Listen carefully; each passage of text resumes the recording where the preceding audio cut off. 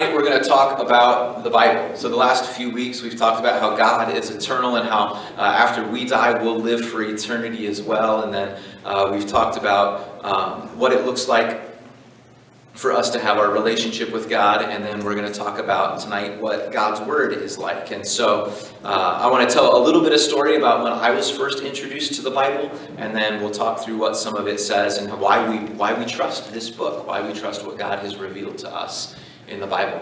Uh, I didn't grow up like many of you in the fact that I didn't grow up going to a church. I didn't have a family that attended a church regularly, and so I didn't do a program like Awana. I didn't go to a church on Sunday morning. I didn't grow up knowing anything about the Bible. My parents didn't read the Bible to me. And so I wasn't familiar with even the stories of the Bible. I was probably 17 or 18 years old before I first even started to think about uh, who God was and what God might mean in my life. And so uh, through a story that took place in that, I, I was uh, at a funeral and I was really sad. A family member of mine had passed away and a cousin um, and I was uh, distraught over that. I was crying out of sadness and, and frustration at what had happened and was listening to a pastor at the funeral. And uh, for a moment, he picked up a Bible like this one and he began to read from it. And while he was reading from his Bible, I stopped crying.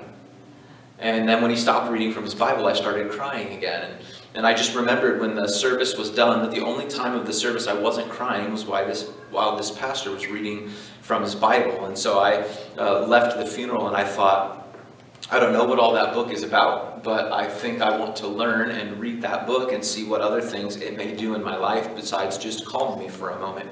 And so I was 17 years old. I went to a bookstore and bought a Bible by myself. There wasn't even an old one in the house somewhere. And just began to read it.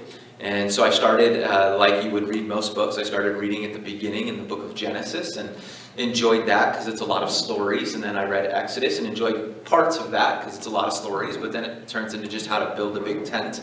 And then I started reading Leviticus, which is just a bunch of rules and laws and teachings. And I started to get really confused. Uh, the reason I started to get really confused was, even though I hadn't read the Bible before, I knew somehow Jesus was kind of the main character in it. And I was confused because I had read the Bible for almost a month now, and I hadn't found Jesus yet. And so I went to some friends at school and I just said, Can you show me where Jesus is in the Bible?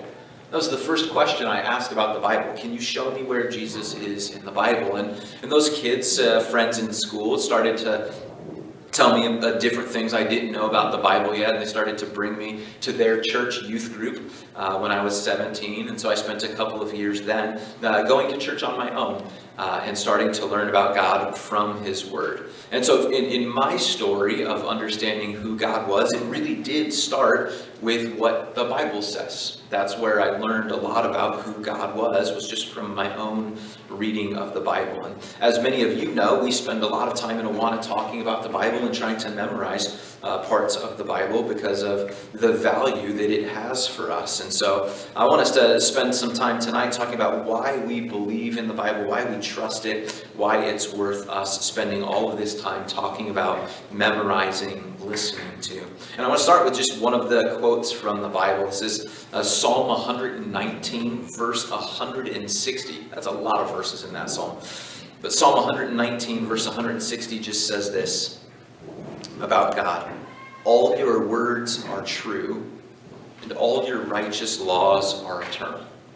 Says God, everything you have said, everything you have written and given to us in the Bible, all of it's true, and all of your righteous laws are eternal. Everything you've said should be true of us. It, it all happened Everything this book records, the stories it tells about people like Adam and Eve, or about people like Moses parting the water, Jesus raising from the dead. These are all stories that happened. They're not, they're not just made up stories, they're happened. And, and one of the reasons we can trust that it's true is because almost all of the stories as they're told are told by people who witnessed them.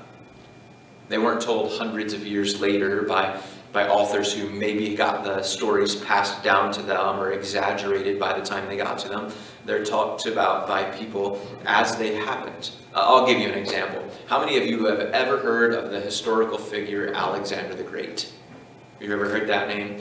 Guy in history named Alexander the Great. He was uh, a ruler in about the 3 to 400 BC time frame conquered lots of countries. Uh, at least that what we know about him is that he conquered lots of countries. And, and yet what is interesting about Alexander the Great is everything we know about Alexander the Great was written over 300 years after he died. And by only one person, 300 years after the story happened. It'd be like if everything you knew about Abraham Lincoln, I was writing right now. And I was the only person who had ever written anything down about Abraham Lincoln. That's, that's what our knowledge of Alexander the Great is like. Stuff that was written hundreds of years after he died and only by one person. And what's different from that is when it comes to something like the Bible, something like Jesus' life and story, in just the Bible alone, we have four different people who have written about it. Most of them who wrote about it while it happened or just shortly after it happened. In fact, in, in all of the world, the Bible is the most well-recorded ancient document there is. There's the most sources of it, written by the most people, copied the most places, talked about in the most ways. It's the most well-recorded book in all of history. And we trust it because it's well recorded. We trust it because it's written by eyewitnesses. We trust it was because it was written shortly after the events happened. But those aren't all the reasons. The Bible, we, we see when God says that it's true and we want to believe Him, it's we see not just that it was written and it records history well, we see God revealed prophecy in it.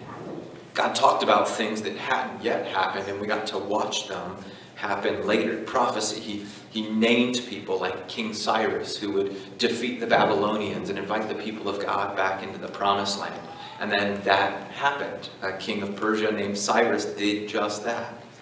And to see these kinds of things, we, we understand that it means that, that what God has said is, is trustworthy, that what God has said is true, and that it's valuable for us uh, to know about that. Uh, the scriptures say a couple of other things God's word says some other things. This is what he says uh, when Paul is writing to Timothy about God's word. In 2 Timothy 3.16 it says this, All scripture, all of God's word, all of the Bible is God-breathed and is useful for teaching, rebuking, correcting, and training in righteousness. Everything that's recorded, all of the Old Testament, all of the New Testament, all of it was written by God. God inspired all of it. That's what that means. And so as Paul is writing 2 Timothy, he's acknowledging these aren't just my words. These are God's words. All of Scripture, all of the Bible is God's word. And it doesn't have any mistakes in it. It doesn't have any errors in it. God did that perfectly and without error as it was originally written. And so we can trust that. It's something that we can uh, spend our lives thinking about, studying, learning about God from. In fact, it's, it's something that throughout all history has been cherished and that people have been in love with. I love that it introduced me to Jesus when I first got to know him. I love it now. I study it regularly and teach from it consistently. One of the things I want to talk about is about people who memorize it that's something we do in Awana, but I want to talk to you about what another group of people, what their memorizing of the Bible looked like. And so for just a moment, we're going to talk about what it would have been like to go to school 2,000 years ago. 2,000 years ago, the Hebrew people of God, when they wanted to study at school, they didn't go to school to learn science, and they didn't go to school to learn history, and most of them didn't even go to school to learn math. They went to school to learn the Bible.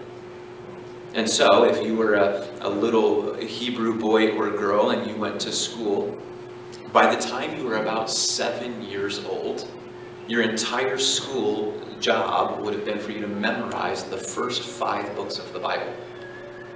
Genesis, Exodus, Leviticus, Numbers, and Deuteronomy. You would have memorized all of it. I could have said to any of you, what's Leviticus chapter 14 said? And any one of you would be able to tell me because you're older than seven years old. And everybody's seven and uh, or older had memorized the first five books of the Bible. Then, as school would continue, and it wouldn't continue for everyone, some girls only went to school till age seven. But anybody that went from school from seven until 10, by the time they were about 10 years old, they would have memorized the whole Old Testament. All 39 books of the Old Testament they would have known by memory and could have just recited to anybody by about 10 years old. At that time, a lot of kids didn't get to go to school anymore. 10 years old, they were done going to school. But the number one job everybody wanted at that time was to be a rabbi, somebody who would teach about God's Word. And because they had already memorized all 39 books of the Old Testament, if they wanted to continue to study, what they would then do is memorize what everybody had written about those books. All the commentaries, all the sermons, they would memorize those. So by about age 13 or 14, they would have memorized all of the Old Testament and all of the major teachings that had ever been written about it. And their hope was that they would then become a rabbi. Uh, people so much wanted to study God's Word and learn how to teach God's Word uh, that, that it was considered the most privileged job in the world. Here's what that would actually mean. People loved their rabbi, their teacher, so much that if their rabbi and their dad both had to go to jail at the same time, and you only had enough money to bail or get one of them out of jail, you were supposed to get your rabbi out before even your parent. So if me and Mr. Ben somehow like robbed a bank together, we're not going to do that, but let's assume we did, or at least people thought we did. We clearly wouldn't have. But if we both got put in jail for that and we're getting ready to go to trial, it would mean you aren't supposed to get your dad out of jail. You're supposed to get me out of jail. You get to leave him there. You can decide if that's a good idea or a bad idea. Uh, but it would say that you're supposed to get the teacher of God's word out of jail first. Because, because what we get from God's word is what's most important. It's what's most valuable. It's the things that we spend and uh, uh, value our life on and make life decisions based on. And so it's supposed to be the most important thing. And so there was something that they did for Hebrew kids on the first day of school every year that I just want you to have a small option of doing today. You don't end up, you won't have to do this, um, but I think it's worthwhile, and so I'm going to allow anybody who wants to uh, to do this. And it was based on something that's said in Scripture. I'm going to read a verse to you uh, from Psalm 19, and then I'll explain what would happen with kids on their first day of school uh, 2,000 years ago. This is from Psalm 19, talking again. Uh, this is David writing, talking about God's Word. Verse 7 starts this way The law of the Lord is perfect, refreshes the soul. The statutes of the Lord are trustworthy. They make wise the simple. The precepts of the Lord are right. They give joy to the heart. The commands of the Lord are radiant. They give light to the eyes. The fear of the Lord is pure. Endures forever. It's talking about the value God's word has. The decrees of the Lord are firm, and all of them are righteous. And then it says this imagery language that it uses about how precious God's word is. They are more precious than gold, than much pure gold. And they are sweeter than honey, than honey from the honeycomb when it talked about God's word as kids understood it 2,000 years ago, they understood everything God had said to be the most luxurious thing they could think of. More valuable to them than gold, that was the most precious commodity that the Bible talks about, and sweeter on their lips than honey. That was the best dessert the Bible talks about. And it was something that they didn't have a lot of access to in that time and culture. Uh, our culture is a little different. It's pretty easy for us to get honey the way we've commercialized things. I went to the store today and bought two things of honey. You can see them here. They're shaped like bears. That's what we've just decided to do in our society for some reason. Uh, but, but honey, was a, a, considered a luxury, and, and for most kids, that kind of luxury meant it was the kind of thing you'd get once every couple of years, maybe on your birthday. Instead of a birthday cake, you'd get a little bit of honey, and it was about the only kind of sweet dessert you may get the whole year, except on the first day of school. And every year on the first day of school, when they would go to school and they would be given uh, what they would have called a slate to write on, they didn't use paper as much as we do, and so they would have more like a chalkboard, like a slate that they would write on. They would be given a new one at school every year, and when they would show up on the first day of school, their teacher wanted to remind them of how important it was to study God's Word, and that it was a luxury, that it was more precious than gold and sweeter than honey, and so they would take honey and they would cover the entire slate. Like picture your entire notebook covered in honey or your laptop, depending on what you do school on these days, just covered in honey. And before you do any work getting to learn about God's Word, they wanted you to, to have the, the reminder of the luxury of it, and so you would then eat the honey. You would spend your first day of school just delighting in a party of sweets and celebration to remind yourself how good God's word is. Now, again, you won't have to do this, but I'm going to ask Mr. Eric and Ms. Michelle to come join me. Um, and they're going to, if you want any, they're going to just put a dab of honey on your finger. And in a moment, I'll just read those verses again about how uh, sweet God's honey is for us. I'd encourage you not to put too much on because all of us are going to have trouble keeping it in place. But if you want to take that, anybody who wants one, you can take some napkins to give them as well. And then, Eric, you can take this one. And as they come around, if you want just a little bit of honey, as we'll talk about the importance of God's, the importance of God's word and how precious it is to us, you, they'll just put a little dab on your finger. And then once we all have them, so once you get some, just try to make sure you're not dripping it too far uh, off things. And then we'll wait till everybody has them and we'll uh, take some time to read these verses and reflect on the value and the sweetness of God's word to us like those people would have 2,000 years ago.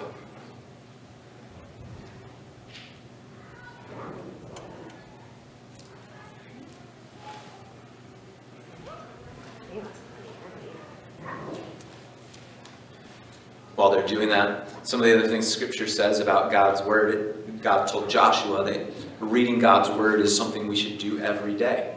He told Moses in Deuteronomy to tell everybody that we should talk about God's word everywhere we go. We should talk about it with our families. We should talk about it when we're inside, talk about it when we're outside. Uh, that it's supposed to be on our lips, something that's a present part of our lives uh, at every moment. So while we come to Awana and we think of and memorize and talk about God's word, that's wonderful. It's a great expression. But God would hope that we're doing that everywhere we go. And with everyone we get to have conversation with. And so uh, it looks like I think we've gotten around to most of the tables. There's a last couple of people at the last table, but I'm going to just remind us of what God's word says. And when I get to the part of honey, we can all eat a little bit of honey together. God's word is perfect and refreshing for our souls. It's trustworthy, it's simple, it gives joy to our heart, it gives light to our eyes, it endures forever, it's pure, it's firm and it's righteous. And it's more precious than gold. And it's sweeter than honey.